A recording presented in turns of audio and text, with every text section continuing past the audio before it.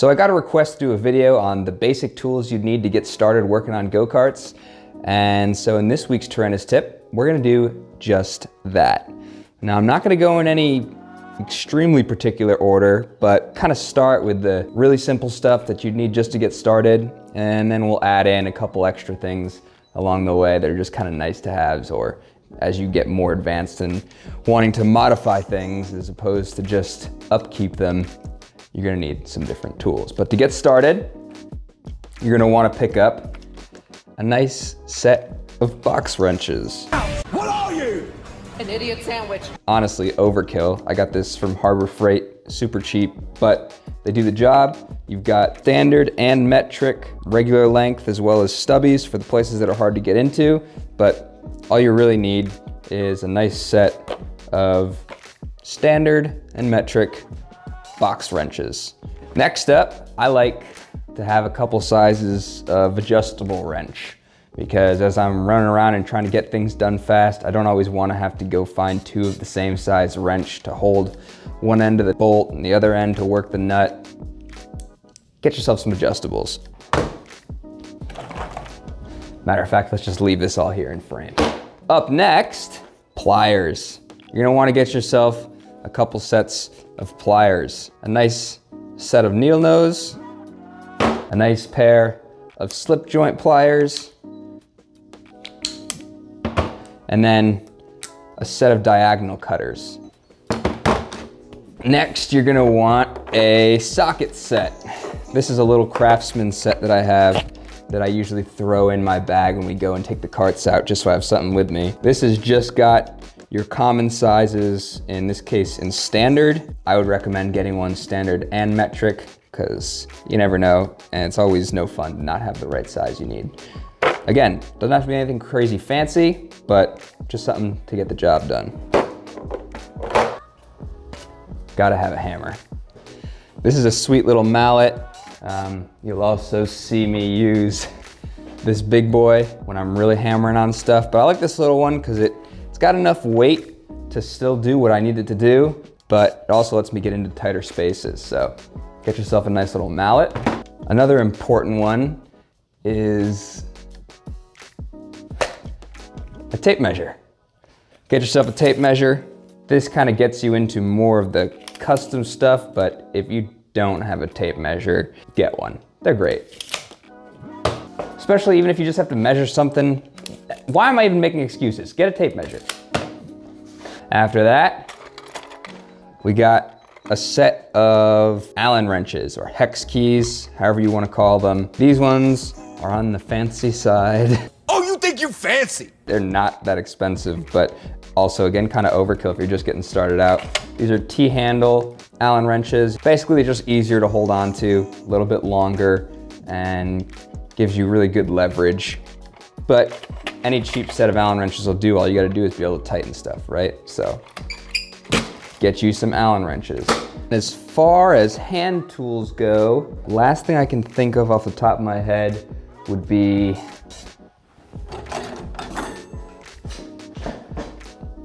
a nice set of uh, assorted screwdrivers. It's nice to have all different sizes and lengths. You can usually find these kind of sets real cheap. These are from Home Depot. You can get them again, Harbor Freight, Amazon, uh, anywhere like that. But if nothing else, get yourself a Phillips head.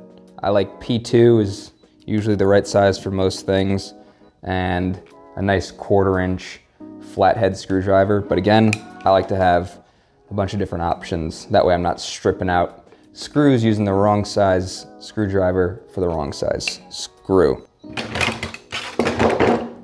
So I think that does it for my basic recommendations of hand tools. Up next, we'll get into a couple of power tools. I love my cordless drill.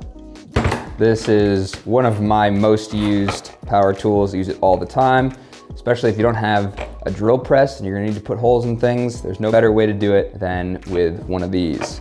Grab yourself a cordless or corded drill, a nice little drill index with your various common sizes.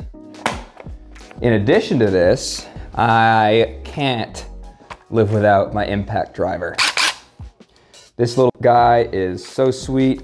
It's got a collar here that accepts these little sort of um, standard hex drill bit. bit. I don't know, I'll put it on screen what it is. I'm forgetting right now.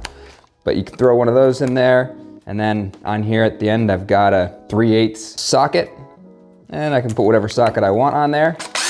Tighten things up, loosen them down, and you got the impacting that's really great. So as far as just putting things together and taking them apart, everything you see here on the table is a really great place to start.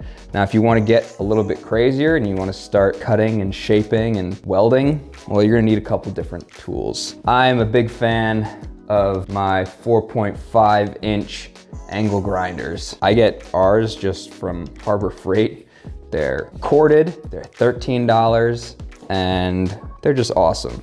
Um, on here, I have a flap disc as well as grinding wheels and these big four and a half inch cutoff wheels. Those will all swap on here and you can use this one tool to do your cutting, grinding, sanding, whatever you really need.